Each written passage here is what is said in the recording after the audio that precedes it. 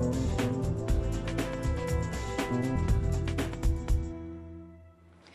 supuesto que ya sabes que nos encanta platicarte de las cosas que suceden en otros lugares del mundo. Y esto sí que, bueno, yo no pude aguantar las ganas de platicártelo justo el día de hoy que hemos dedicado ese programa para platicar acerca de la eyaculación precoz. Y bueno, ustedes saben que consistentemente los medios de comunicación están en este proceso de buscar cosas que puedan llamar la atención. Y ya hace yo creo que más de una década que estamos inmersos en esto de los programas de los reality shows. Bueno, ya hace algún dos, tres años que estamos en este proceso de tener programas de concurso, pues precisamente en Japón ya hicieron un nuevo tipo de programa de concurso. Fíjate, eso es como muy, muy, muy sencillo, ¿no?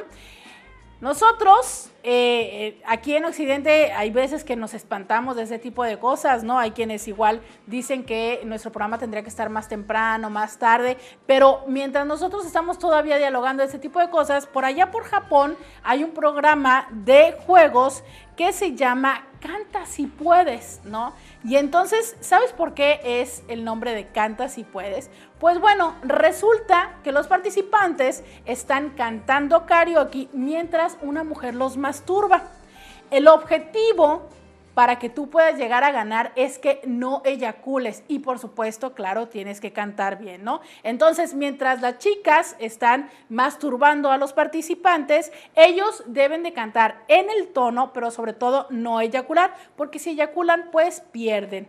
Según lo que se puede ver dentro de la transmisión, el concursante sí está desnudo de la cadera para abajo, para que pueda realmente darse este proceso de la masturbación y pues imagina lo complejo que puede estar siendo cantar, estar atinándole al tono y evitar la eyaculación y no sé, bueno, quizás hasta evitar la pena, ¿no? Porque una de esas hasta pierde la erección. Pero bueno, esto estará haciendo un, está siendo un espectáculo que se está transmitiendo en Japón.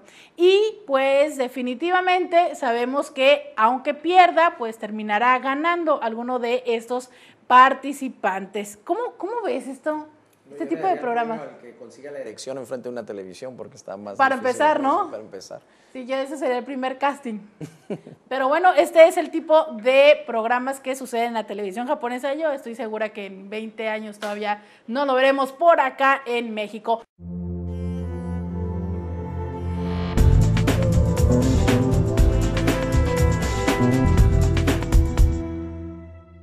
Quieres solucionar un problema personal, algo en tu relación de pareja o solamente quieres consejería, algunas preguntas respecto a la sexualidad, por supuesto, márcanos 681-1993, el centro especializado en psicología y sexología integral, el primero en la región con más de 8 años de experiencia. Somos tu mejor opción. Roberta Medina, psicóloga, sexóloga y terapeuta sexual, 681-1993 o búscanos en Facebook como Sexo con Roberta.